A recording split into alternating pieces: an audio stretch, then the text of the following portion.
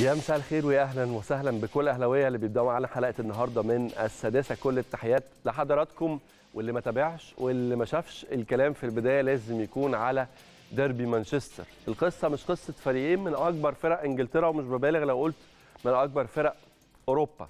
القصة مش قصة ديربي مدينة مانشستر وقصة صراع بين بطلين. آه، حققوا كتير من الألقاب على مستوى البطولات في إنجلترا. لكن القصة في الحقيقة للي تابع المباراة واللي شاف 90 دقيقة بيلخصوا متعة وجمال وإثارة كرة القدم. حالة الصراع النهارده الحقيقة اللي بتمنى أتمنى إن إحنا نتعلم منها إنه الصراع حدوده الملعب ملعب كرة القدم ومدته هي 90 دقيقة. فريق خسران الشوط الأول بنتيجة 4-0 من غريم تقليدي. بين الأولد ترافورد وبين ملعب الاتحاد قصة طويلة جدا من الصراع. وقصة طويلة جدا من الحساسيات.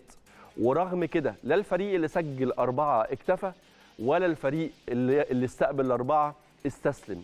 هي دي متعة كرة القدم. هي دي الحالة.